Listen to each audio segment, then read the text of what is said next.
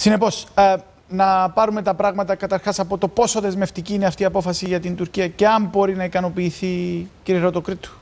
Η απόφαση αυτή είχε ένα ισχυρό ηθικό και νομικό ε, κύρος και βεβαίως η Τουρκία ως ε, χώρα κράτος μέλος της σύμβασης υποχρεούται και έχει υποχρέωση από τη στιγμή που ήταν διάδικο μέρος στην τέταρτη διακρατική το Μάιο του 2001, γιατί η διαδικασία αυτή για τη δίκαιη ικανοποίηση είναι συνέχιση εκείνης της διαδικασίας, έχει υποχρέωση ηθική και νομική να συμμορφωθεί. Η νομική διάσταση της υποχρεωτικότητας στη συμμόρφωσης να απόγειται, όπως ακούσατε πολύ στο Συμβούλιο Υπουργών. στο Συμβούλιο των Υπουργών, οι οποίοι με βάση τη σύμβαση έχουν την υποχρέωση να προωθήσουν την υλοποίηση. Βεβαίως, Αυτό σημαίνει ότι πολιτικές πιέσεις είναι που θα εξασκηθούν. Βεβαίως, σε ένα πολιτικό επίπεδο, κάποιοι τοποθετούνται. Ο Υπουργός Εξωτερικών ήδη έσπευσε να τοποθετηθεί. Αλλά Λέει ότι δεν αναγνωρίζει. Η πολιτική, η πολιτική με ήττα δεν έχει σχέση με τα νομικά στην προκείμενη περίπτωση. Υπό την έννοια του ότι υπάρχει μια δικαστική απόφαση από ένα ανώτατο δικαστήριο. Η οποία έχει εκτελεστότητα όμως. Έχει εκτελεστότητα. Βεβαίως είναι, είναι καθήκον της Επιτροπής ε, των Υπουργών να προχωρήσουν στην υλοποίηση των όσων λέγονται, αλλά ακούστε, το, το, το, των όσων έχουν αποφασιστεί δηλαδή στην πληρωμή της λεγόμενης δίκαιη αποζημίωσης. Δηλαδή των 30 εκατομμυρίων ως ε, ηθική βλάβη που επιδικάστηκαν για τις οικογένειες των αγνωμένων και των 60 εκατομμυρίων ναι. για, για τους εγκλωβισμένους. Όμως αυτό που έχει σημασία, λέχτηκε προηγουμένως στο ρεπορτάζ, αυτό που έχει σημασία και νομίζω νομικά πάντα και νομίζω χωρίς να θέλω να υποτιμώ τις οποιασδήποτε συνέπειες ε, τις νομικές που αφορούν την υπόλοιπη ε, απόφαση, είναι εξαιρετικά σημαντικές όλες οι οι παραμετροί, αλλά το εξαιρετικά σημαντικό είναι ότι παλαιότερα και κεντρικά, τουλάχιστον σε σχέση με την υπόθεση Δημόπουλος, υπήρξε απόφαση του Ευρωπαϊκού Δικαστηρίου στο πλαίσιο όχι διακρατικών προσφυγών, αλλά ατομικών, προσφυγών.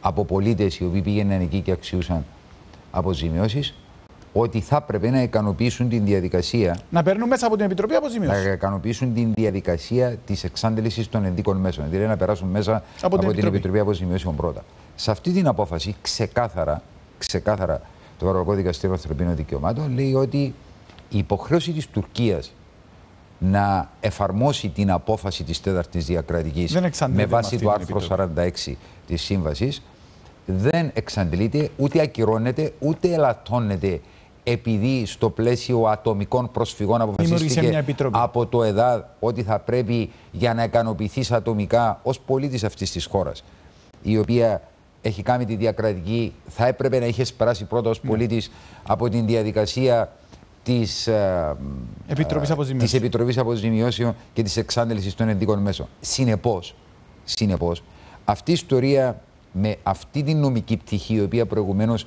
κυριαρχούσε στην αντίληψη πάρα πολλών νομικών, θα έλεγα όλων των νομικών, ότι θα έπρεπε δίχως άλλο ο πολίτης να καταφύγει στην Επιτροπή Αποζημίσεων πρώτα και αυτό συνεπαγόταν ότι η χώρα με βάση την τέταρτη διακρατική η οποία είναι υπέτεια για την καταπάτηση, για την αποστέρηση, για τον βιασμό των δικαιωμάτων επί της περιουσίας δεν έχει να δώσει κανένα λόγο δηλαδή η Τουρκία επειδή ο πολίτης δεν είχε εξαντλήσει την διαδικασία της Επιτροπής Αποζημίωσεων, αυτό είναι λάθος. Ξεκαθαρίστηκε με αυτή την απόφαση ότι η υποχρέωση της Τουρκίας εξακολουθεί να παραμένει εκεί, ισχυρή, διαρκής και να σας πω κάτι, δεν παραγράφεται ποτέ. Είναι ένα άλλο έβριμα αυτής της απόφασης. Ξεκάθαρο ότι δεν παραγράφεται ποτέ μια... ενώ δεν συμμορφώνεται. Να κάνουμε μια κουβέντα για το ποσό. Γιατί ξέρετε, οι πολίτες λένε, Μα καλά, είναι ποτέ δυνατόν τώρα το μεγαλύτερο έγκλημα σε ευρωπαϊκό κυρίως επίπεδο να κοστολογείται με ένα ποσό της τάξης των 90 εκατομμυρίων.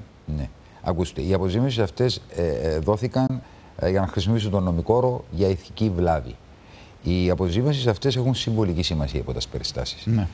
δεν έχουν καμία χρηματική σημασία. δηλαδή, δεν είναι αποζημιώσεις οι οποίες αποκαθιστούν τη ζημιά την οποία υπέστης. Εξάλλου, γι' αυτό το λόγο χαρακτηρίζονται και ως αποζημιώσεις για ηθική βλάβη. Έχουν μια συμβολική σημασία και νομικά αλλά και ηθικά.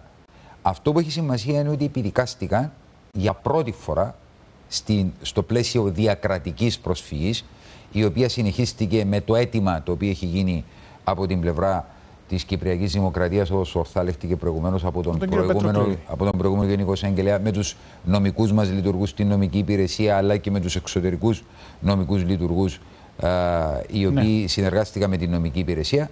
Επιδικάστηκε λοιπόν για πρώτη φορά αυτό το ποσό, αυτά τα ποσά, δείχνοντας ολοκάθαρα ότι η απόφαση αυτή έχει ε, ένα ισχυρό και ηθικό κύρος, αλλά που μπορεί να μεταφραστεί και σε χρηματικό, έστω στη διάσταση της ηθικής βλαβή.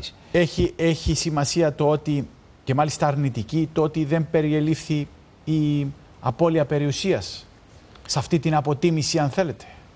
Να σας πω κάτι. Άκουγα τον κύριο Λουκαίδη που λέει ναι. Κακώς δεν μπήκε πάνω και ε, το περιουσιακό, ναι. έστω για τη πλαγία. Ναι. Καταρχήν θα πρέπει να σας πω ότι με βάση την ίδια την απόφαση δεν υπάρχει χρόνος παραγραφής. Άρα από, μπορεί να γίνει τώρα, λέτε. Από τη στιγμή κατά την οποία η παραβίαση και η αποχή από τη συμμόρφωση εκ μέρους της Τουρκίας με βάση το άρθρο 46 στην απόφαση της διακρατικής είναι συνεχής και συνεχίζεται και δεν έχει περαιωθεί, όπως εξακολουθεί να υπάρχει και κατοχή, ναι. Τότε δεν υπάρχει παραγραφή. Συνεπώς, νομικά υπάρχει το δικαίωμα να πάμε όποτε το θελήσουμε. Και δεν το αποκλείεται αυτό. Καθόλου δεν το αποκλείουμε. Εξάλλου, ε, ε, νομίζω ήταν σαφής η τοποθέτηση από την πλευρά της νομικής υπηρεσίας, θες από την πλευρά του Γενικού Εισαγγελέα, ότι, ότι, η απόφαση θα μελετηθεί και θα αξιολογηθεί κατάλληλα για σκοπούς περαιτέρω βημάτων. Όμως υπάρχει και ένα άλλο σκέλος στις αποφάσεις αυτές, να μην το παραθεωρούμε και να μην το βάζουμε σε δεύτερη μοίρα. Γίνεται η διαχείριση της υπόθεσης αυτής και σε ένα πολιτικό επίπεδο, όπως είναι κατανοητό, από τους καθήλυνα αρμοδίους, όχι από την νομική υπηρεσία, ναι. που χειρίζονται την εξωτερική πολιτική της χώρας, που χειρίζονται τις διαπραγματεύσεις για το Κυπριακό στην Τράπεζα των Διαπραγματεύσεων. Ευελπιστώ, όχι εκμηδονίζοντας την αξία της. Καθόλου. Καθόλου. Το αντίθετο. Mm. Ευελπιστώντας ότι θα κεφαλαιοποιηθεί αυτό το αποτέλεσμα, Μάλιστα. θα αξιολογηθεί και θα τύχει τη σωστή διαχείριση για να αποκομίσουμε τελευταίο, όσο το δυνατόν περισσότερο. Επειδή σας έχω εδώ να ρωτήσω για τις ε, έρευνες ό,τι αφορά την οικονομία, παρόλο που είναι άλλο κεφάλαιο, πρέπει να σας ρωτήσω. Καλύτερα να μην ρωτήσετε, κύριε Τσουρούλη, με όλο το σεβασμό και την εκτίμηση που σας έχω.